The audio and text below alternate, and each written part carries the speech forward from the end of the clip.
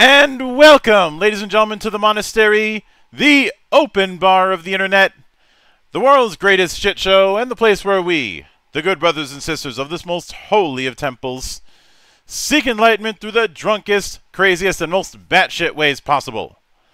I am your one and only gaming monk, better known as Mildra, and with me I have a newcomer into the temple, creator of the of the era of the elementals, the one and only Gegalix Has- Halcyon. How you doing today, man? Doing great. Thanks for having me. Thanks, thanks for have, thanks for coming on and braving time zone hell. Oh, so I suppose the I suppose the best place to start would be at the humble beginnings, in a sense. So walk me through your first introduction to role-playing games and what made it stick. Yeah, sure thing. So, what all the way back to let's say I was like, you know, 10, 11 years old. Um I was always kind of a fan of like the role-playing games in general. Um it's something I didn't really get to do, you know. I I'd be able to get a couple of friends and we'd maybe like play a game like briefly, but nothing too serious because you know my family was like, "Oh, that's kind of like nerdy. We we don't really want you to do that."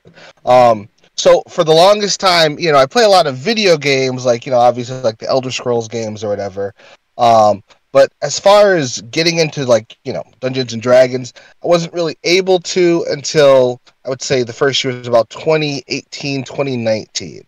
Um, from then on, I was invited to play for a you know a D and D group. Immediately fell in love with it, and you know explored some other tabletop games. And it's something you know. While I don't have a family that's into it, most of my friends they just love the tabletop genre. Um, and so as far as just regular like gaming, like board games, now board games they did love. I've been playing board games since I can remember. Um, and video games, I would say from about 11 or 12. Um, that also kind of sparked the fuel of my love for like the tabletop RPG genre. So I like all of those, but tabletops are by far my favorite. Mm-hmm. So with that in, with that in mind, uh, the, when it come when, when you when it comes to some of the other ones you dipped into out, outside of D and D, are there any na- are there any names that particularly stick out that that ser- that served as inspiration when it when it came to designing the era of the elementals? Oh yeah, sure thing. Um, so when I was younger, I, I was actually a pretty decently sized fan of like Harry Potter, Hmm. although my family didn't, and actually, you know, to this day, they're not the biggest fans of that. Um, what else? Lord of the Rings also was something I, I wanted to get into, but really couldn't. The big thing that I actually got lucky, me and actually my entire family loved was uh, Avatar: The Last Airbender. Mhm. That was something they could actually kind of get on board with, and so that is actually um, one of the biggest sources of inspiration. Yeah, and I, I obvious obviously with the element setup, I can I can certainly see it. Um, now, when now when it comes to the core mechanics of the of um, I'm just I'm going I'm going to call it elementals for for going forward because I'm not paid by the syllable. Um, Right. now, is it a is it a you say it's you say that other than damage rolls and percentile rolls, it's all it's all d20s. Um, Right. so given so given that, may I may I assume that we're dealing with a roll that we're dealing with a roll high approach with percentile being the exception. Um, yes, definitely. Now, I have to say that because when somebody says that they're that a given game is is using a certain die as the as the primary mechanic, um, it actually doesn't lim- it actually doesn't narrow things down as much as some people might think. Like if somebody said a game has a D6 based system, that tells me that tells me nothing. That's that, that's actually a good point. You're right. I mean, because you know you could want to roll a one, and that's a good roll, or a six, or yeah, you're right. Well, you could have you could have a West End Games' D6 system um, is sum based. Shadowrun is success based, where you're trying to roll a, a, a set of a set of die over and each one has each one is supposed to be a hit or a miss based on how they based on how they roll. Both of them are, Ah. are D6 based systems, but that's the only thing they have in common. That's that's kind of what I meant by that. I got you. Wow. Um, Fading Suns uses a D20 system, but I've referred to it as D20 blackjack because you're trying to roll low, but you're trying to roll as close to the line as you can. Hmm. No, much like how in blackjack you're trying to get as close to 21 as you can go as you can go without going over. Right. Um, That's a good point. Even within like you know uh, D and D, obviously the different like editions have like you know different ways of rolling. That's a good point. well, all roads still eventually lead to D20 versus um, plus and plus and minus modifiers versus, and you're trying to get over a target number. But from what I saw in the preview document you sent me, it looks like you're having it that natural 20s have an exploding effect. Pretty much, absolutely. Uh, what what made you go what made you go with that instead of the usual auto success? Um, so you know, in my personal personal adventures playing like D and D, you know, with uh, my my you know current like D and D teammates or whatever, uh, whenever someone gets a, a D twenty or a one, um, those are usually some of the most exciting and most memorable moments. And so, the idea is, you know, when people play the era of the elementals and get like a twenty or a one. Um, I, I'd want those moments to be memorable, whether it's memorable in some really good ways or memorable maybe like an awful way. But either way, you know, memories will definitely be made that way. hmm I can cer- I can certainly get that. Now, with that with that in mind, the way you the way you wrote the way you wrote out the pl- the plot and some of the things like new some of the things like New Game Plus and the like, um, is this meant is this meant to be a full on a full on system on its own or a or a campaign setting or a module?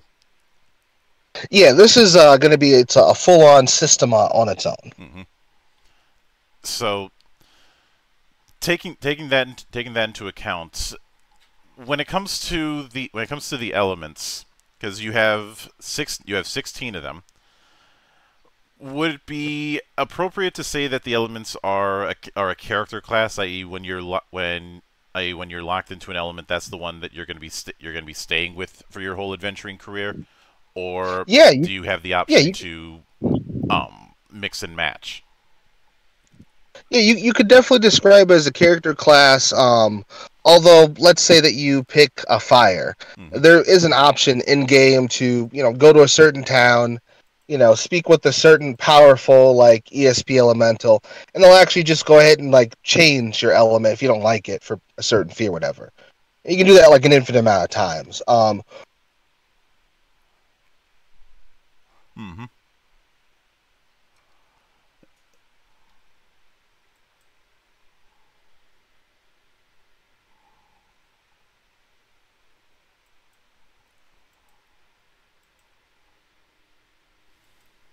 Sorry about sorry about that. The record the recording decided to mess with me because technology. oh no, I've I've definitely been there. Mm-mm. But with that in, with that in mind, when it comes to now, first off, um, I'm I'm assume I would it be fair of me to assume that it's that um, since you mentioned it mentions stats in the uh, in both the preview document and in the um, Ki- Kickstarter page that you're that um that you are going to be having a set a set of core stats. Is it a case where you have a set of six core stats and a set of skills, or do you have a different approach to both of them? So the way I I decided to handle that because my big thing is I, I wanted to try to keep it simple. Mhm. So there, there- there's going to be the uh, the six core stats. Um, there is technically the seventh, but that one doesn't really affect or heavily affect gameplay. That's like the morality um, Mhm. stat. But so there's just the six. Now, one of those is the uh, the competence, Mhm. and that's pretty much going to be you know that's going to cover almost all the skill checks essentially. Um, uh, but there is the option for a player to specialize in like one of like 20 different like sub skills let's say like um athletics for example mm-hmm. um, or like acting. So, but you know, it's also optional. So it's like if you want to, you can specialize and become really good. So let's say that you know you're looking for like I don't know, like a hidden treasure in like a, an old ruin. And so, you know, the GM would be like, all right, well, go ahead and, you know, roll like a search competent check or whatever. Um, if you haven't specialized, you'll just roll a competent check.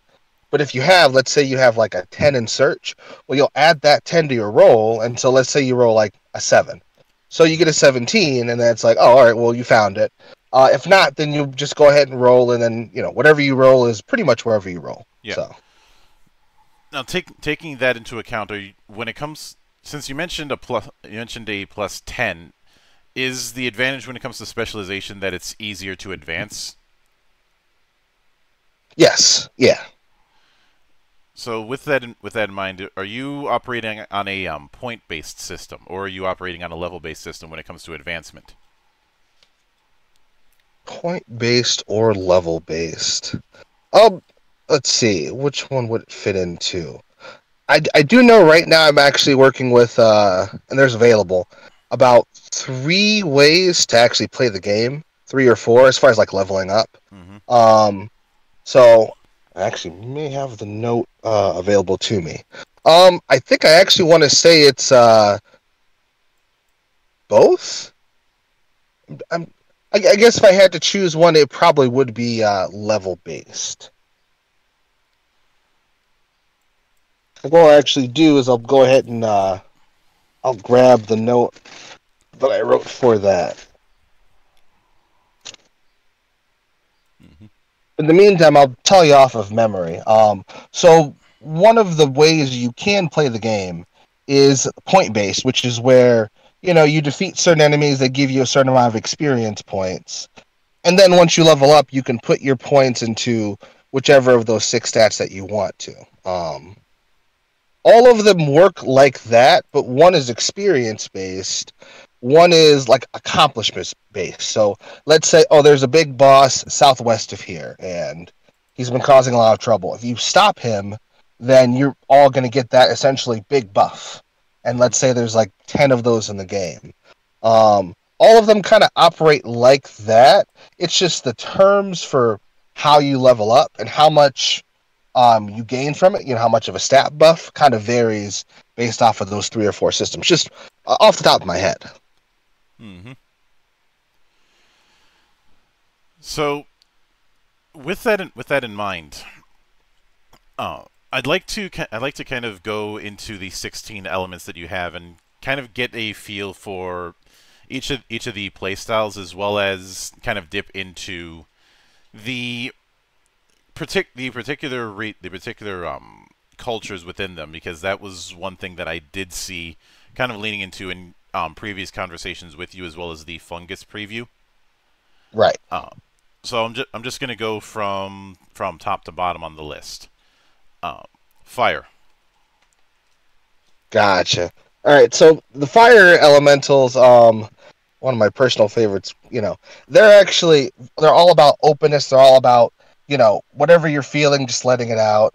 Uh, their culture actually is one of the most peaceful. Ironically, you know, you'd think fire would be destructive, um, very laid back, very good relations with the other elementals. Um, they really don't cause much trouble. They they do enjoy like combat, but again, it's more of like recreational. Uh, so there's a lot of like really good combative moves as far as fire goes. But they're actually, as far as causing trouble in the world, like lore wise, they're actually pretty laid back. Mm-hmm. Um, electricity. Electricity. So the funny thing about electricity, um, at the time period where the players enter the world, um, it's full. You know, they call themselves the uh, electric artisan. So they're all about like you know creating technology that benefits the world. Um, you know, donating to charity. You know, they're all about that good stuff. Historically, they actually caused a lot of trouble because, um, with a very minor spoiler, it doesn't have relevance with the main plot. Um, but let's just say a certain king was like, oh man, you know, we're like scientifically we're way ahead of all these other guys. Why don't we go and share our success with the uh, other guys? And if they don't like it, well, uh, Uh, there's uh, there's more to that, of course, but that's just like a summary. Mhm. Um, so their past is kind of uh, kind of controversial, but they they're essentially trying to make amends through their technology. Um, they mostly stay out of politics. They just kind of say, "Hey, we invented this. You guys figure out what to do with it. It may not be ethical. We kind of don't care. Bye bye." You know that they're that sort. Um, so yeah, they're that's that's them in a nutshell. There's more to it, but I don't want to just go on and on. Yeah. Um, ESP. ESP. Um, ESP, they've kind of played the role of like mediators historically. Um, ESP, you know, in a sense, it's one of the most powerful elements because technically all elementals are ESP, and that the mind is what's being used to create and control the element. Um, and so there's a there's a kinship between all of them and the ESP elementals. Um, a lot of ESP like attacks and strategies, the, let's say the easier ones to perform without burning too much of your energy points. A lot of those are going to revolve around like mind tricks, illusions, maybe even creating things that aren't really there. Um, but at higher levels, as far as offense goes, ESP can actually use uh, certain attacks from every different element, although it does cost them a high amount. Um, but yeah, within the world, they actually play the role of like you know peacekeepers. Um, they they've always played that role, even back when all the elementals lived in one giant kingdom. That was pretty much their role was just keeping the peace. So Mhm. even though the kingdoms crumbled and everyone's kind of scattered around the continent, you know, even within their own continent, they still kind of maintain that peacekeeping role. And thanks to their psychic powers, they can actually mentally go places that they physically wouldn't be able to go. Uh, so I'm guessing that at least one per- at least one person playtesting has made some sort of Jedi reference with them. Oh God, yes, oh, yes, uh, yes. Too, too many. hmm So, next on the list would be light. Light. Okay, so light's a, a pretty interesting type because up until the point where the players enter into the world, light, as far as like a naturally occurring like elemental, is extremely rare. Um, there is you'll see as you play the game, there is one like legendary light figure who basically, you know, she was so powerful, she literally changed the world without even really meaning to. So it's definitely as far as like power, it's you know it's really strong, but it's also incredibly rare. Um, because of that, the light elementals as a people don't really exist. hmm Like mostly, there's going to be the uh, the temples where people who sort of revere the light element. Um, and so another thing with the morality actually is, as a, a person, let's say they want to be like a goody two shoes, right? hmm So as they make better moral choices, like if they max out their morality in a positive way, they actually can deal light, like um, or I say light, they can deal minor amounts of light damage, I should say. Um, so that's kind of the goal of like the monks. They they essentially want to get as close to the light as possible, while knowing they can never actually become a light elemental. Mhm. Um, the player essentially, you know, they're sort of given a serum of a sort, which turns them into like an artificial light elemental. But as far as the natural, uh, naturally occurring light elementals, incredibly rare. Um, flora. Flora. So Flora is actually uh, in a reflection of our own world. Flora, it actually has the highest population of elementals, and once you get to see the actual world map, they have by far the biggest share of land on the continent. Um, Flora elementals, they think that they are the mediators between like you know man, animals, and nature. And so from their perspective, it's like as mediators, we're kind of like, you know, it's Mother Nature. We have to be motherly. We have to be affectionate. We have to be dignified. That's pretty much their whole idea. Um, historically, they've actually been involved in a lot of conflicts because the thing about floor elementals is, I mean, you, you think of like a tree or like a vine or a plant. As it grows, it might start overstepping its boundaries, and that like that encompasses floor elementals. Like as the years have gone by, they have a tendency to kind of overreach and overstep their authority with the excuse of, "Oh, well, I'm just doing what's best for everybody." You know, even if that may may not actually be true. So their their history has been checkered. Um, as far as combat goes, Flora has a lot of like um, a lot of healing moves, a lot of status moves. It does have a lot of damage moves and range moves, but I would say damage isn't really the strong suit of grass elementals, unless of course you want to go into wood attacks. That's a that's a whole different story right there. Yeah. Um, but yeah, uh, the the floral people they they've been involved in a lot of conflict. Mm-hmm. Um, fungus. Fungus. So the funny thing, historically, um, all the way back to when the elementals were just one people, uh, fungus was not considered its own element. They were actually considered to be like really basically strange flora elementals, essentially, just weird plant guys, pretty much. Mm-hmm. Um, a couple of thousand years before the players get there, they actually break off from the floral elementals and become their own thing. And so, because of that, they don't really have their own land. And so, you know, the, the fungal nomads they they wander the lands. They they make some of the best medicines and potions. And so, you know, should like your party run into them, it's like you should buy some potions. Some of them are really really good. Um, as as a people, they're actually pretty laid back, um, much like fire elementals. As far as combat goes, if you want to really screw with your opponents using like you know status moves and whatnot, you want to go with a fungus elemental because that's pretty much their specialty.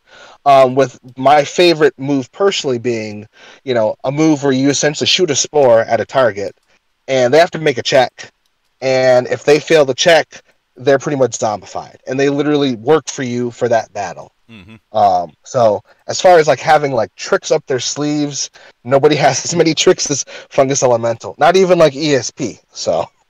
Mm-hmm. So, next on the list would be um, fauna.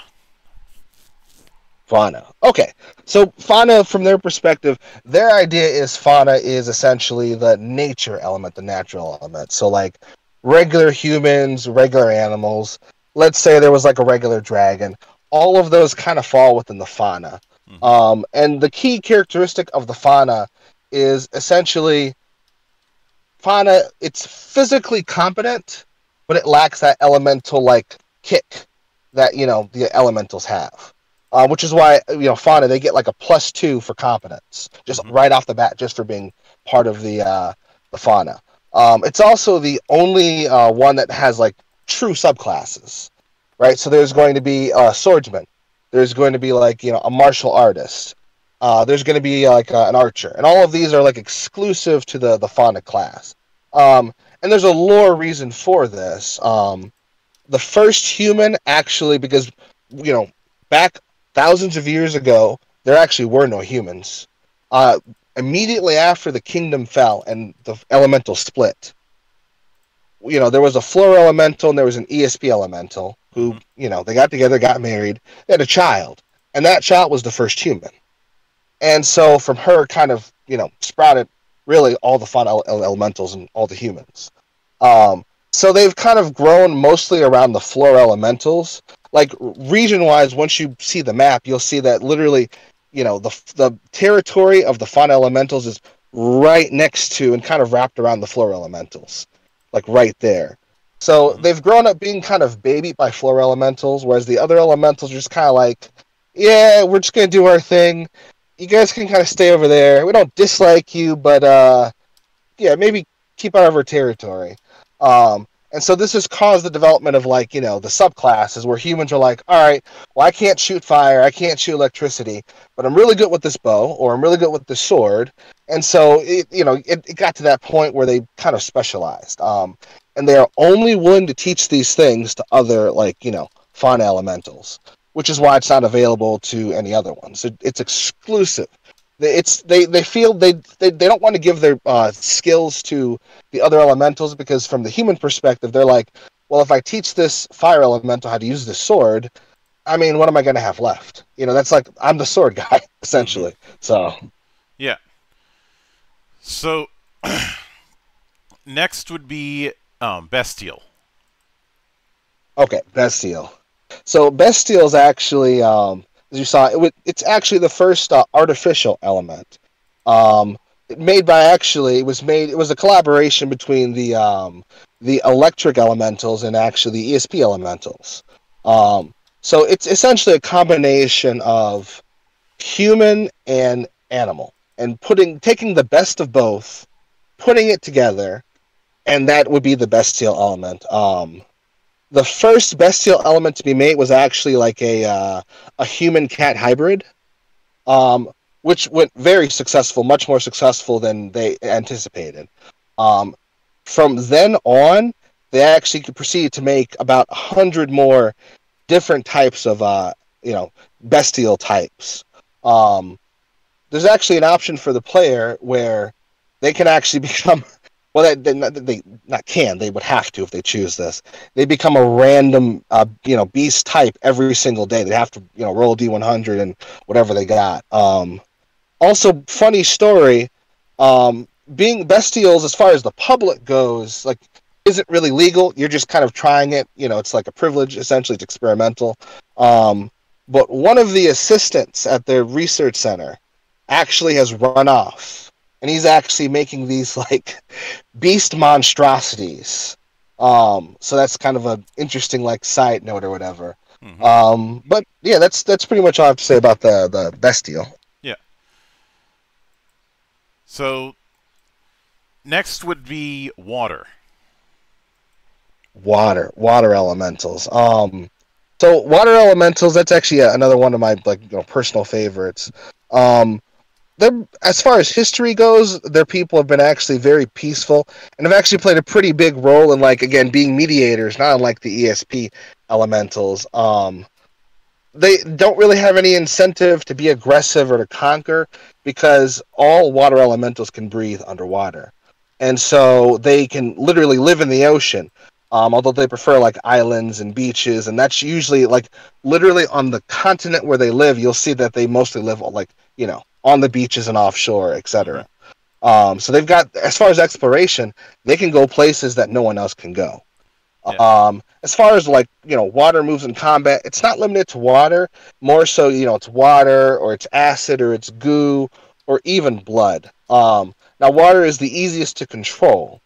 Um, but as far as like specializing, if someone were to specialize in like blood or acid, that can be that can be very very dangerous for like their opponents in battle. What about um, mist? Yes, they are able to control mist. The only trick with mist is, you know, the less diluted the liquid is, the less control they have over it. So, you know, mist is something they can make, but they would really want like an air elemental and come together they'd really be able to make something with that mist you know so next would be cold Cold, ooh, cold elemental. Okay, so uh, the cold elementals, they're actually known as the uh, the cold regals. They're actually um, they're the richest of all of the elementals. Um, that's because as far as like skills and resources, they're just no one is a, as good as it as them.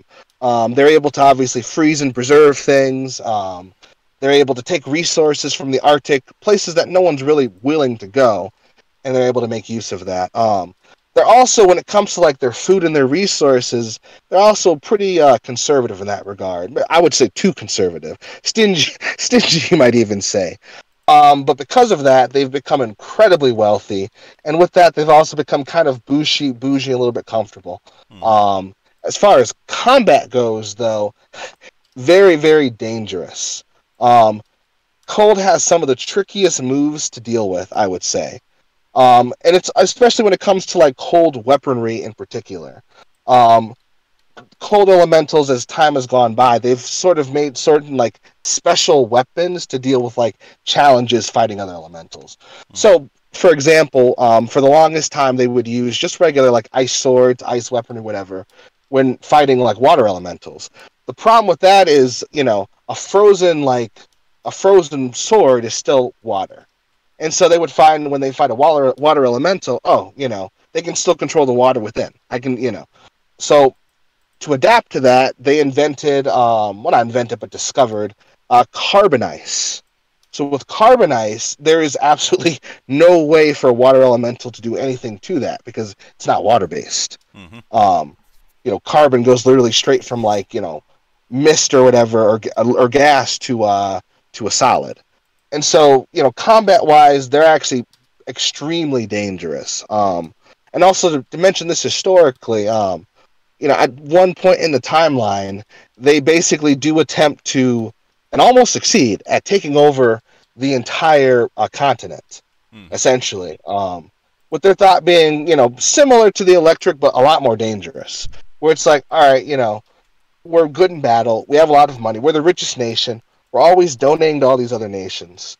Let's just go ahead and take this over and have them run this our way, you know. Mhm. Because from the, the from the Cold Regal's perspective, the other elementals spend way too much money. They're like, you guys, you know, you you're, you're spending too much money. Uh, We don't like the way you're handling your resources. Let us step in and let us do it better.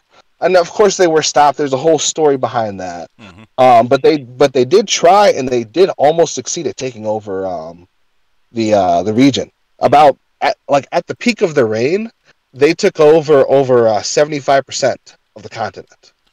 And I'm, pr- So, I'm pretty like- sure some there's some old wounds on that on that. No, there are absolutely, uh, and the, you know, unfortunately, because of the pride of the cold elementals, they, you know, they've still maintain that, you know, especially the old generation, they've maintained that. Oh well, it probably would have been good if we took over. You know, you guys kind of did yourself a disservice. Um, there are even some who think that the cold elementals may be gearing up for uh, another try at that. But that's that's more debatable, and that's getting into you know some of the more modern day politics or whatever. So I'll I'll, I'll leave it right there. Yeah. Um, time. Time. So time is the uh, the second artificial element that was created by the collaboration between like you know ESP and uh, Electric Elementals. Um, and so because of that, as a people, you know they don't really exist currently. There's about two or three like you know time research towers where a couple of time elementals live, um, and they're researching their powers, the effects it can have. Um, testing has gone really well. Uh, the current version of a time elemental they feel is strong, but not too strong. Um, as far as like you know, in battle goes, uh, time is very good for you know changing the momentum of the battle. So let's say that you know there's a battle and like, oh man, you know we're getting rushed by the enemy. Things are going so fast. Well, the time elemental can freeze it and kind of give the party room, you know, room to breathe. Like, all right, let's slow down. Let's figure out what's going on. Who's going to do what or whatever. Mhm. Um, they've got little tricks like that. One thing a time elemental can even do is, let's say you get an axe, right, and you go ahead and you like strike the time elemental. So they they there are two cool things they can do. One, they can just literally reverse time and undo that. Or two, if you don't want to burn up the energy points, they can actually freeze the damage essentially. So even though they've been damaged, it doesn't actually take effect, you know, for a couple of turns. So essentially, they're slowing down uh, the the damage essentially, Yep. which Oh. gives them time to heal up. So Yeah. And I'm I'm going to get I'm going to guess that at least one of your playtesters has made a has made a Za Warudo joke at least once. surprisingly, no. Yeah, surprisingly, no. I am disappointed in their in their in their geekiness then. Oh.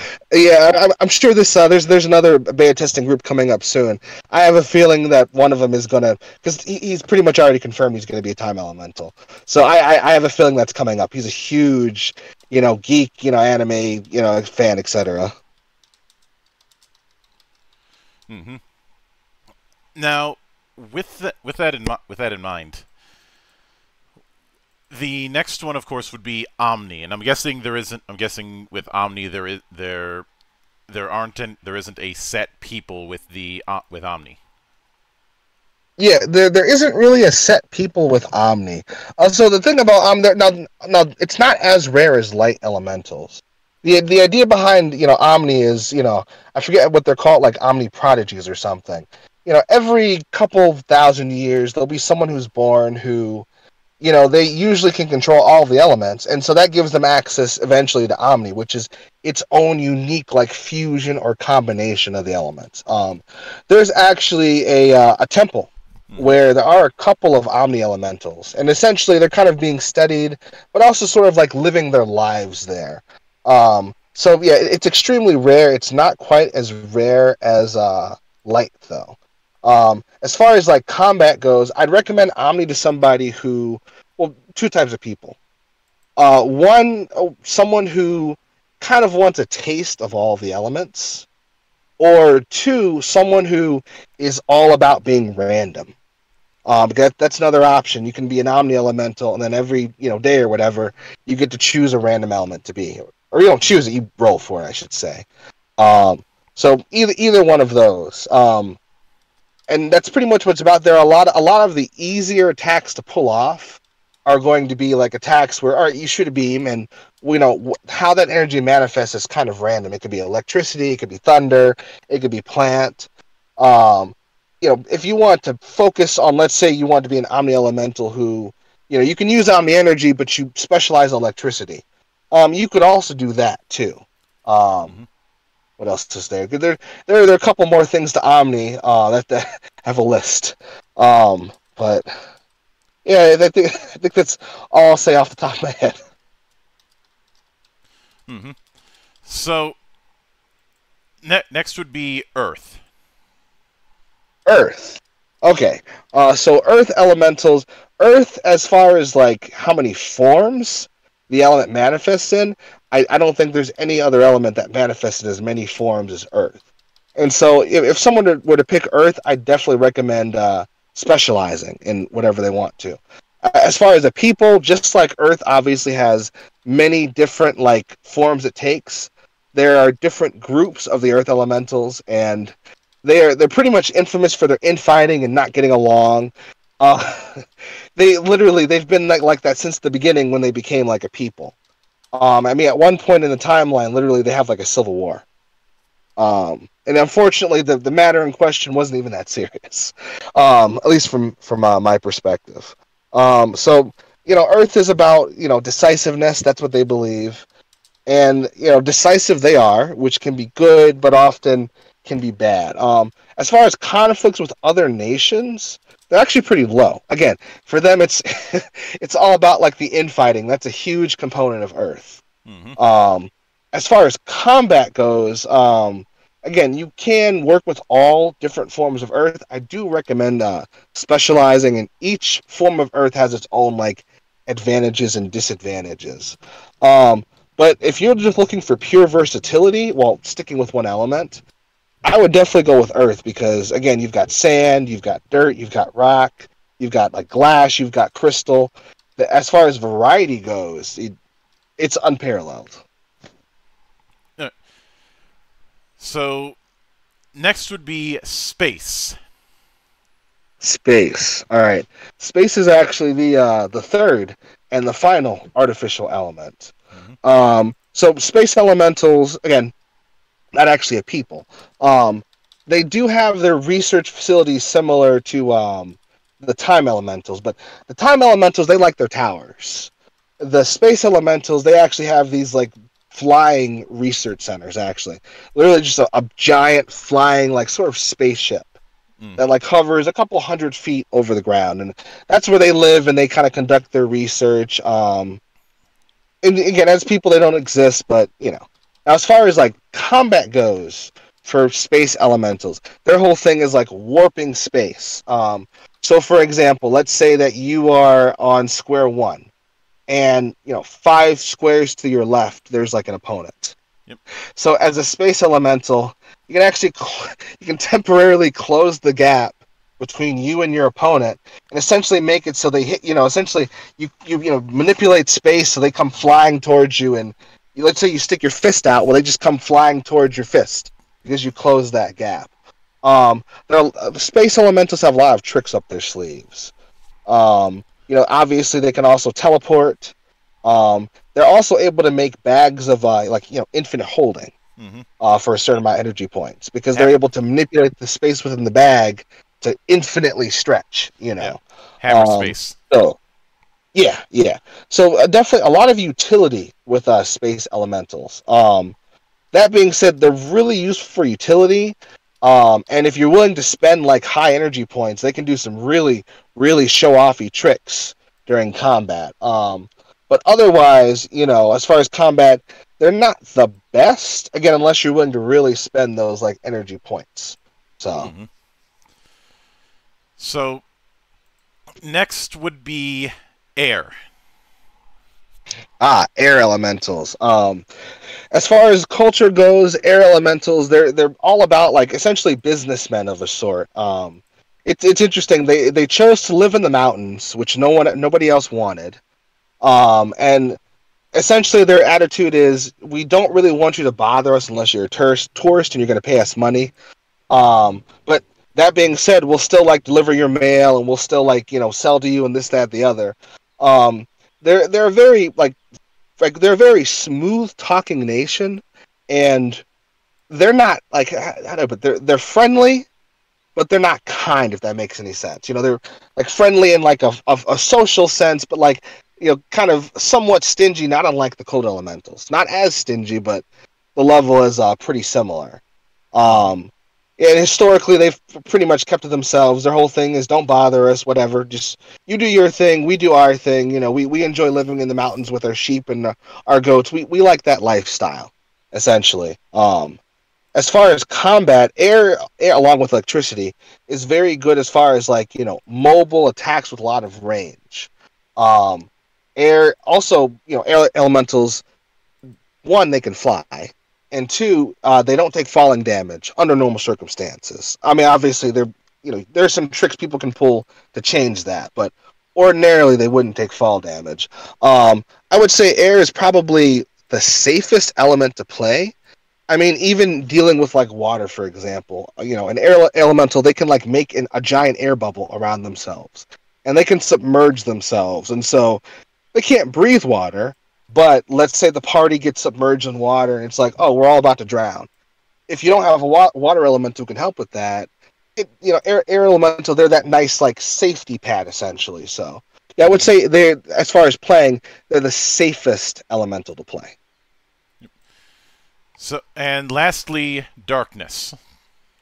Ooh, darkness. Okay. Oh man, I'm very very happy with how darkness elementals came out. So the funny thing, um, strictly talking about darkness elementals, um, darkness isn't actually an inherently bad element. Uh, darkness represents like you know the shadows and secrecy and things like that. But I mean, again, these things are inherently bad. Um, so as far as just pure dark elementals, they're actually not bad. Um, now there is also, of course, the, the you know the TSC who are the villains of the game. Um, most of them are dark elementals. Not all of them, though. Uh, there are actually a decent amount of dark elementals who like they hate the TSC. From their perspective, they're like those guys make us look bad. You know what I mean? People see a dark elemental and think, "Oh, they're all like that," but it's not actually the case. Um, as far as the TSC goes, the you know a massive criminal organization within the world, um, their main philosophy could be boiled down, I would say, with this quote, which is the problem with the light is that some shine brighter than others. So, from the perspective of the TSC, they like the darkness because, from their perspective, the darkness and dark energy in general is like an equalizer. Um, whereas with light, obviously, different people are going to shine in different ways, and from their perspective, someone will always be left in the shadow. Um, and they, they have other philosophies. I mean, literally, what you can do with you know when you play the game is you can find books written by like TSC members, you know, as far as like certain philosophies that they have. Um, now in combat, you know, darkness is also somewhat similar to like ESP and fungus, in that it's sort of like you know utility and like uh, status based. But the idea with darkness in combat is it's all about taking things away from your opponent. So like obviously with fungus you would like be giving them status elements you'd be like giving them this and that. Mm-hmm. but with darkness is the, the exact opposite. So one of the things a darkness elemental can do is they can literally take away somebody's elemental abilities. They can take them away. Um, and if that person is let's say they're a fauna elemental they'll just make them really really sick you know essentially taking away their physical capabilities. Um, they can take away a person's element. They can take away you know uh, energy points from somebody. They can temporarily like reduce a person's like max stat for like let's say competence, for example.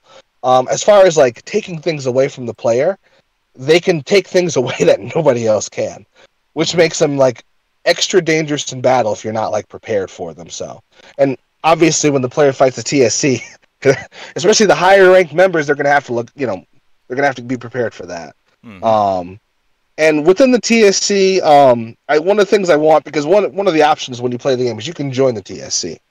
Um, I, I, a lot of the members of the TSC they have somewhat tragic backgrounds. Again, the idea is that like with you know in a world filled with light, you know, it doesn't shine on everybody in a pleasant way, and so a lot of them they've been overshadowed by other people. They've been overlooked, um, or maybe they just have outright tragic backstories altogether. Um, so, and yeah, I guess I'll go ahead and stop right there. hmm Now, when it comes to the power sets that each of them have, you you kind of inadvertently answered this when you when you mentioned EP, so I can assume that we're operating on a um, point pool instead instead of some, instead of something more Vancian. Thank goodness. I've I've never been a fan of the Vancian model, and it Yeah, I haven't either. Yeah. and truth be told, it wouldn't work with this sit within this system.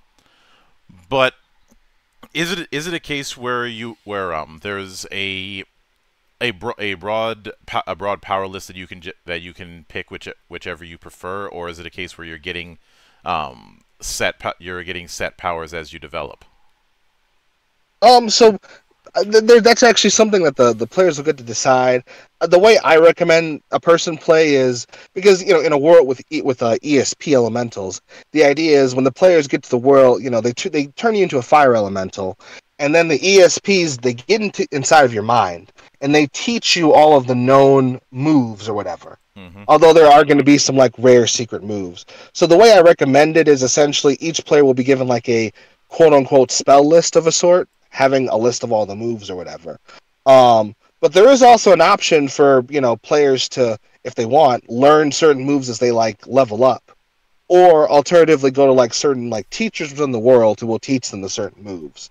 So Mhm. I recommend the first way, but I am working on trying to make the second and third way available if that's the way people want to do it.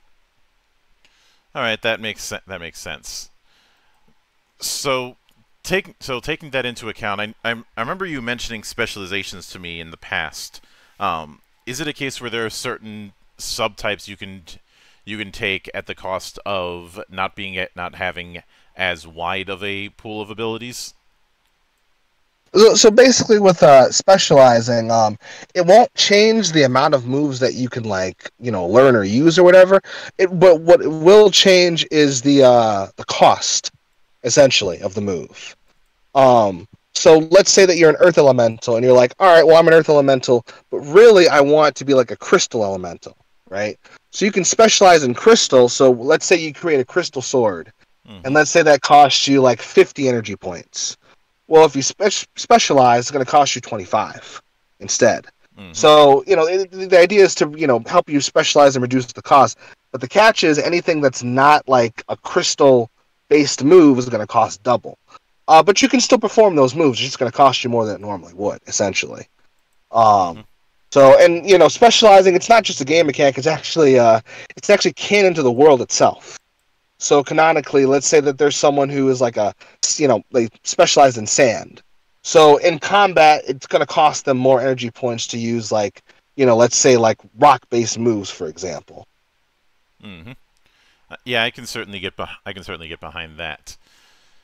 So, with that with that in mind, um, the way you, the way you describe it, it sounds like there's a certain a certain story that you have in mind. But are you going to be putting in options for people who want to um, have a different or have a different origin point than the one you've than the one you've mentioned? So that is something I was sort of considering and kind of played around with.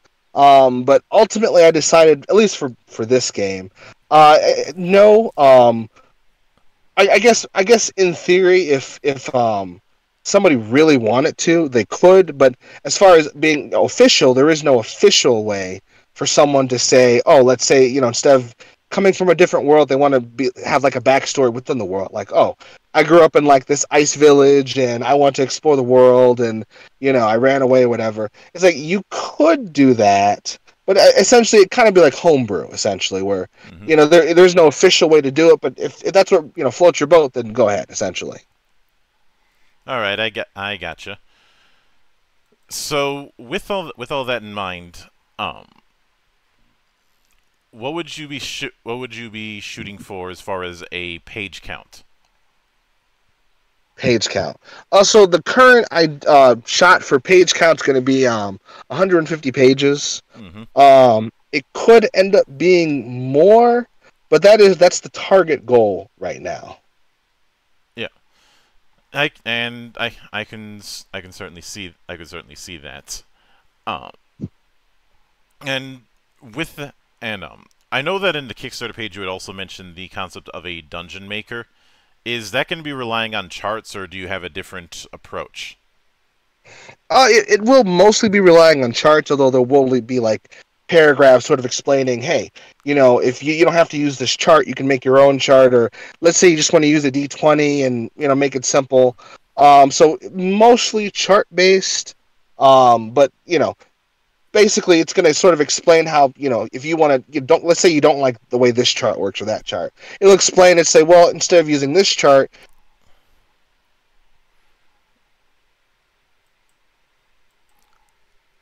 it is mostly chart based, but one thing I'm going to include in you know the paragraphs where I explain you know essentially dungeon making within the world is you don't actually have to use the charts. Um, you can make your own version of the charts, or even you know to make it simpler. Let's say that you just want to take 20 ideas from the chart. You can take those and then have the player roll a d20, and then whatever they roll for the d20, that's it. Or maybe instead of using charts, you already have like a, a solid idea for what you want your dungeon to be. So you can literally just hand pick out and you know whatever it is and just have it be set. So the the, the dungeon making is it's it's easily probably the most flexible aspect of the game. Just because I want like you know GMs to have a bunch of freedom when it comes to making their dungeons. hmm I can I can certainly understand that. Now, with all with all that with all that in mind, uh, what I do I will be I will certainly be looking forward to seeing how the how the project will be developing, and of course and of course to th- and um I do wish I do wish the the best of luck on on its development in whatever form it takes.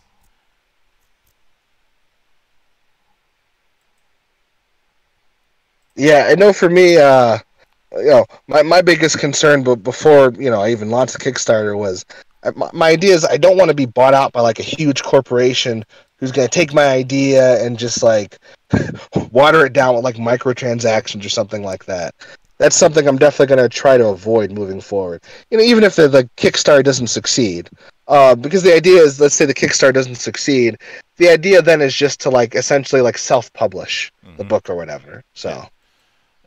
Yeah, and so with that in mind, I do want to sincerely thank you for taking the time out of your schedule to come all the way to my show, come all the way to my show, to my temple, and enjoy the madness that happens around here.